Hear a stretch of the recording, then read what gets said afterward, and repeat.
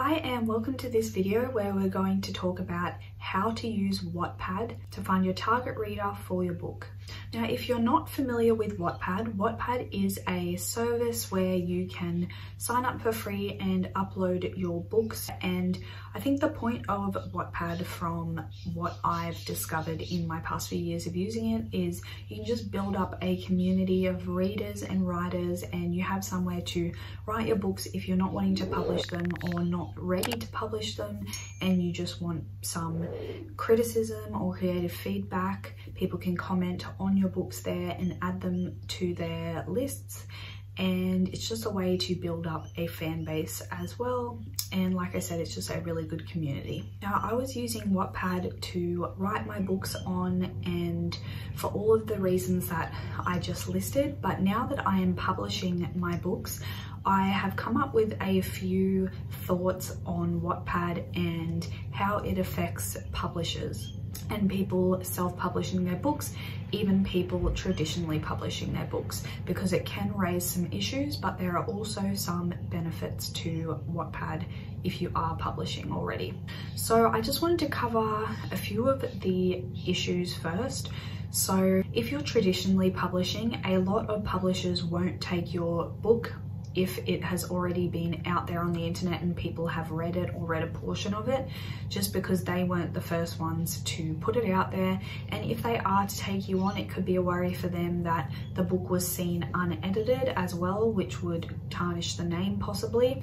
For indie publishers there's a fear that if you put your book out there before publishing it no one's going to buy it. And this is because people who read on Wattpad a lot of the time are younger and they like to read free books. And if they can read it for free why would they purchase it? Another thing there are a few exceptions of this such as Anna Todd when she published a few of her books on there that kind of went viral such as After We Collided. And she did go on to have that traditionally published. And there are some cases where publishing agents will actually scour through Wattpad and find people for publishing, but it is quite rare and doesn't happen a lot. Now there are a few reasons why you would use Wattpad and one is to get readers hooked onto your series and hopefully get them to buy the next book. Now some people say that this is a good thing and a good way to go about that but honestly a lot of the time people like to read your book for free on there and won't go on to pay for your book. But I will show you in this screenshot how many views my books have on Wattpad and I used to have the whole books on there and since I've started selling them I actually have taken the books off and then only put a few chapters on there. But see how many people have viewed it viewed them and added them to their list whereas how many people have actually bought my books? Not even half. And I can say with almost all certainty that they did not come from Wattpad the ones that did buy my books. So that is something to keep in mind. Although I will say that as a new author this can be a really good way to get your name out there and start to build up a small audience and now the main point of this video is to talk about how to find your target audience. So if we put aside how many books you are selling, you can get a pretty good idea of who is reading your books on Wattpad and who is adding them to their list. If you look in your notifications, you'll actually see people that are adding your books and it will tell you what lists they have made and are adding your books to. It'll also show you on your profile how many follows you have and you can kind of, if you want to take the time to do some research, you can click on each of their profiles and kind of get a feel for their age, gender and what kind of other books they're reading which can also help you in the future when you're putting your book up on Amazon or anywhere else to see the categories that your books fit into. There are other ways to figure this out as well but this is just a good starting point to get an idea of who is reading your books and where they belong in the market. Now in saying that you can actually set your book into a certain category when you are setting up your book. You can do this by um, putting different hashtags into the back end of Wattpad when you're uploading a book and I believe you do also have the option to set categories as well. Now Wattpad is one of the book hosting places that do have the most categories so there are a lot of different categories and subcategories on Wattpad that you can use, which is really awesome to get your book into a lot of different readers' hands. So just keep that in mind as well when you're setting up your books. But aside from that, you can do the things that I just mentioned before this, like going into the profiles of the people who follow you and add your books to their lists to get an idea of who is reading your books and where they belong or where they have ended up based off the categories you have set. I want to mention that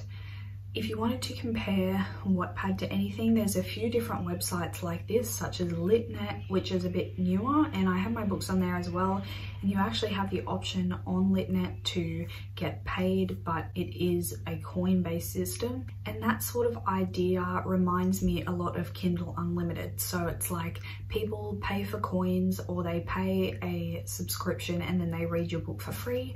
on Wattpad, it is free for readers as well, and LitNet it can be as well, but if they want to buy paid books, they have to buy coins. And on Kindle Unlimited, you pay a monthly fee and then you get all these books for free. So the same idea, however, goes with Kindle Unlimited as it does with those other sites because those readers, if they're getting books for free, they're not going to usually follow you outside of those platforms and purchase your books because they like those platforms. That's where they consume their books and they're getting free books. So just keep that in mind. If you do build up a huge audience in Wattpad, then or Kindle Unlimited, it doesn't necessarily mean that you can then take this this audience with you outside there to another website like Amazon, and I'm not talking about Amazon Kindle Unlimited, I'm just talking about general Amazon store or Smashwords or Draft Digital, Barnes & Noble, Apple, Google Play, etc. That is why I do suggest that you use Wattpad as generally a tool to find out who your readers are and a little added bonus of some people may follow you out and purchase your books outside of Wattpad. I actually have done an interview with a Wattpad famous author as well and I will link that video in the cards and down below. She really goes in and talks about how she became Wattpad famous, what books do well on Wattpad and heaps more so go ahead and watch that video if you would like more insight into Wattpad. I will actually be doing a video as well exclusively talking about how to use Wattpad, why to use Wattpad and all of the benefits of that but for now I'm just going to leave this video here so I hope that it gave you a little bit of insight and was somewhat helpful and I will see you in my next video.